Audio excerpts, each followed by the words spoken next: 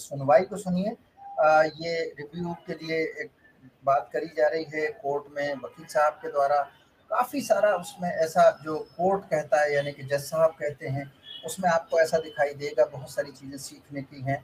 और एक सबसे इसका फैसला भी जब आप सुनेंगे, तब भी उसमें आपको कई सारी चीज़ें मिलेंगी। मगर एक जो सबसे महत्वपूर्ण बात है जो हम इसमें रेखांकित करना चाहते हैं, इस वीडियो क्लिप के माध्यम से, वो हमारी कोशिश ये है कि आप समझ पाएँ कि रिव्यू और रिवीजन में क्या फ़र्क है। तो ये वीडियो क्लिप बहुत ध्यान से देखिए। अभी आप इस क्लिप को भी देखेंगे और साथ में हम कोशिश करते हैं कि इसके साथ आपको रिव्यू और रिवीजन का एक टेक्स्ट के माध्यम से भी साइड में लगा दिया जाए ताकि आप सुनवाई करते-करते उसको पढ़ भी सकते हैं और रिव्यू और रिवीजन वो दोनों को समझ सकते हैं और दोनों के बीच में जो अंतर है उसको भी समझने में बड़ी मदद मिलेगी। तो अब आपकी तरफ़ जो अ, आएगा वो अ, रिव्यू और revision review petition. Your Lordship. In this, the petitioner is seeking the review of order dated 17 एक 2022 Your Lordship, which is annexure RP1 Your Lordship at page number 10. R three RP1 Your Lordship, page number 10. और क्या है This is the order for which the petitioner is seeking the review, Your Lordship. And Your Lordship, in this case, there is also delay of 112 days, that is 112 days, Your Lordship. change of counsel is not a ground for review Your Lordship, on on merits, Your Lordship, I will be able to sa- satisfy no my no Lordship. merit तो जब होगा जब review allow होगा the decision of the honorable division bench of this high court is that in review a court concerned is not entitled to touch the merits of the original case it has to be satisfied that there is some error apparent on face of record calling for review if you are able to show that otherwise you can take this order in appeal Your, your lordship, that is why your lordship, this is, I am referring judgment passed by the full bench of the Supreme Court on 18th of August, your lordship. This is, क्या है judgement दिखाई क्या कहते हैं वो your lordship, in this case, the petitioner is uh, relying, your lordship, paragraph, नहीं पहली चीज़ तो ये है कि रिव्यू के लिए सेम काउंसिल को आना पड़ेगा दिस इज़ नॉट डन आप तो ये बता दीजिए कि क्या गलती हुई है आप सत्तर साल से बियॉन्ड चलना अ, Sir. नौकरी करना चाहते थे उसको हमने रिफ्यूज कर दिया I make a submission, हाँ. your lordship? Your lordship, in this case, your lordship, the case of petitioner was decided, your lordship, that the circular dated 1/3/2009 is applicable in the case of the petitioner, your lordship.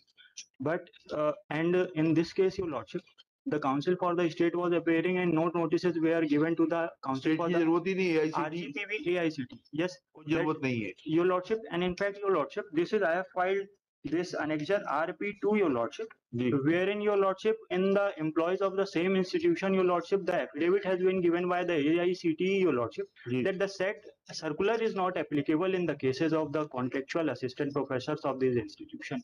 कहाँ लिखा है बताइए This is your lordship, this is page number fifteen may be seen, your lordship. हाँ.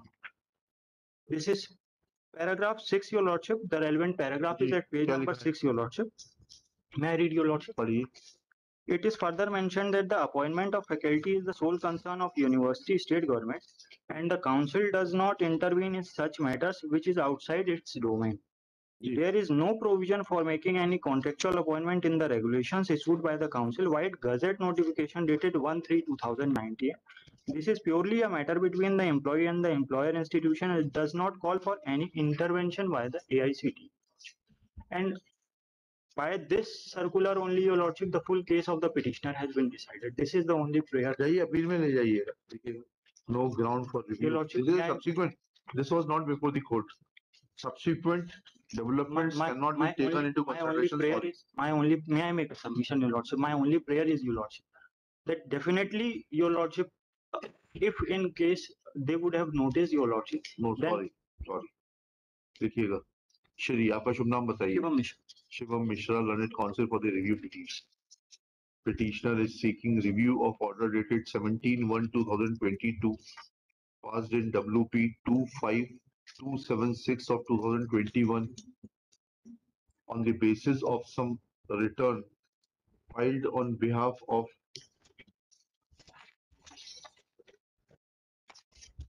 a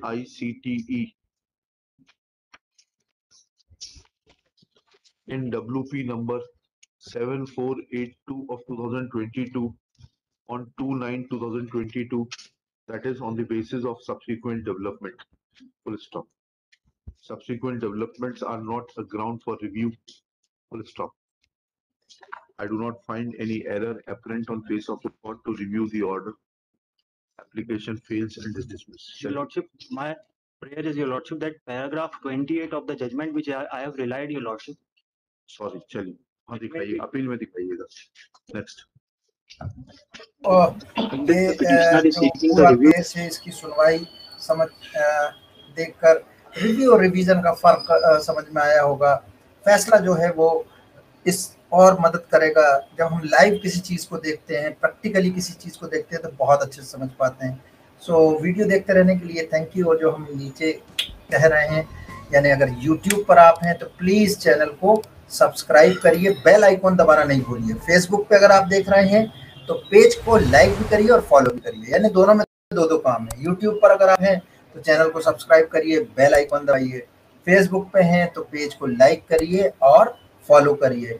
इसके साथ साथ आप इस वीडियो को ऐसे लोग जिनको समझते हैं कि गंभीरता से समझना चाहते हैं कानून को, आम भाषा में सहज ढंग से, बहुत कॉम्प्लिकेटेड ढंग से नहीं उनको आप शेयर कर सकते हैं अपने इष्ट जन, परिजन, दोस्त, यार, जो गंभीरता से कानून को समझना चाहते हैं। केवल शू शाह अल्लाह, गुल्ला, वायरल, पुलिस को डांट दिया और ऐसा ये कह दिया तो इस टाइप के वीडियो ना हम गंभीरता से कोशिश कर रहे हैं और हमें फीडबैक दीजिएगा, आप कैसा पसंद करते हैं। So thank you very much आप लगातार आपसे मिल रहा प्रेम हमारे लिए बहुत बहुत मायने रखता है। उस प्रेम के लिए बहुत धन्यवाद। Thank you very much do keep coming to do the न्याय। Thank you